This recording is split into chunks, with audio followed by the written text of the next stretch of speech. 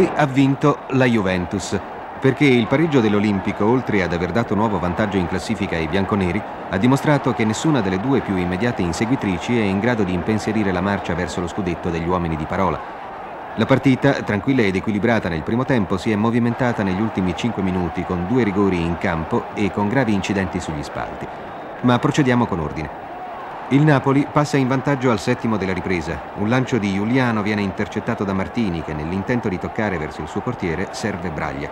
Questi evita l'uscita di Pulici e segna a porta vuota. Da questo momento il Napoli avrà numerose occasioni per mettere al sicuro il successo. Clerici si produce in uno spunto che costringe Pulici all'ennesimo salvataggio.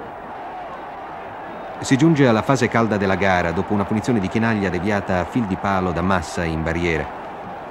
D'Amico manca in pieno il pallone e finisce a terra su intervento di Orlandini. L'arbitro ravvisa gli estremi del rigore che Chinaglia riesce a trasformare con un tiro piuttosto centrale.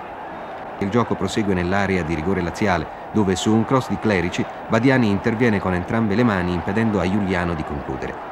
L'arbitro fischia il rigore. È il 47esimo quando Clerici tenta la trasformazione e Pulici gliela impedisce respingendo con i piedi. Finisce così 1 a 1 e a gioirne è solo la Juventus.